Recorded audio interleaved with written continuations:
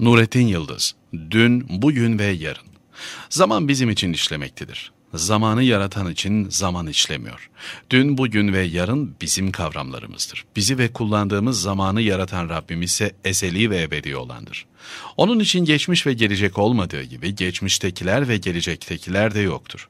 Bize göre baş ve son neresi ise onun o iki nokta arasındaki hükümleri tecelli eden kaderi bir lahza kadardır. Dostu İbrahim aleyhisselamın ateşe atılma sahnesi bizim için filan tarihteki bir olaydı. Nuh aleyhisselamın gemisinin su üzerinde yüzdüğü aylar bizim kullandığımız takvimlere göre şu kadar ay bu kadar gündür. Musa aleyhisselam için denizin kara olduğu o muhteşem gün ve yer bizim için milattır ve ölçüdür. Allah Teala ise bütün zamanları ve bütün mahlukatını bir tek noktada ve bir tek lahzada görüp kollamaktadır. Olmasını murad ettiği işler içinde geçerlidir bu. O işlerle ilgisi olanlar içinde. Bugün yaşayan mümin nesil olarak önceki nesillerin başta peygamberler olmak üzere hayatlarından bize intikal eden bilgileri, o dönemin insanına ait hatıralarmış gibi ele almamız yanlıştır. O dönemlerin insanlarına ait olsa da kitabımız Kur'an onların hayatlarına ait imtihanları bir ders mantığıyla önümüze koymaktadır.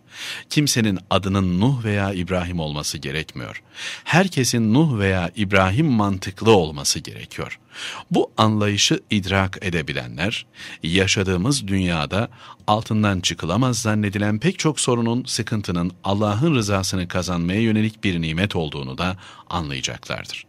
Şu anda bir tür ateşe atılmak isteyenler ya da atılmış bulunanlar Kur'an'a müracaat edip önümüze konmuş bulunan ateşe atılmış İbrahim'i ve İbrahim'e o kaderi yazan Allah'ın kaderinin nasıl tecelli ettiğini görmelidirler. Servetini koyabileceği yer bulmakta zorlanan müminler, Kur'an'a müracaat edip Karun'u ve Karun'la alakalı kaderini işleten Allah'ın hükmünü izlemelidirler. Katlanılamayacağını vehmettiği hastalıklar, ızdıraplar içinde olanlar, yine Allah'ın hidayet kaynağı olarak elimize koyduğu Kur'an'a yönelip Eyyub aleyhisselam üzerinden sabrın muhtevasını ve akıbetini incelemelidirler. Sonra da dün adı Eyyub olan bir kulunu o sıkıntılarla imtihan eden ve ona kazandığı imtihanının neticesi olarak güzel bir kul olma ödülü veren Allah'ın neyi murad ettiğini düşünmelidirler. İş sahipleri, işçiler, işsizler, babalar, anneler, bütün müminler olarak bizden öncekileri imtihan eden Rabbimizin imtihanını, imtihanın içindeki kulları üzerinde isteyebiliriz.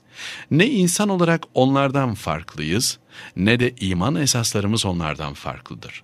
Aynı cennet için aynı Allah'ın kulları olmaya çalışıyoruz. Onlarla aramızdaki tek fark zamandır. O zaman da bizim için işliyor. Onu yaratan için işlemiyor. Biz bizim için işleyen zamanı gerekçe görerek zamanı yaratan Rabbimizin üzerimizde görmek istediği imtihanları kendi istek ve keyfimize göre şekillendiremeyiz. Şekillendirdiğimizi zannetsek de sadece kendimizi oyalarız. Bizim için koca dünya, koca kainat ama Allah için ol demesiyle olu vermiş bir mahluk. Bizim için şu yıldan bu yıla geçmiş bir zaman ama Allah için hesapta olmayan bir kavram. Bizim için sadece biz ve bizim eksenimizdekiler ama Allah için kullarından bir kul, mahlukatından biri sadece.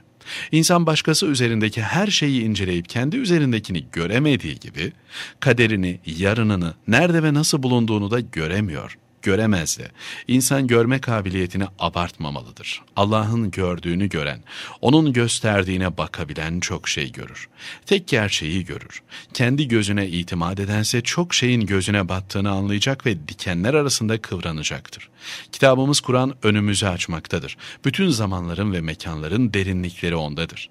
Dertleri aşmak isteyen zaman ve mekan ötesinde olmanın rahatlığına ermek isteyen Kur'an'a dönmelidir. Orada ateşe atılan İbrahim'i, sıkıntılarla boğuşan Eyyub'u, çocuk hasretiyle inleyen Zekeriya'yı bulmalıdır. Onları önümüze koyan Allah için zaman değişmiyor. Kulluk kimliğimiz değişmiyor. Nihai hedef olan cennet ve onu hak etme çabası da değişmiyor.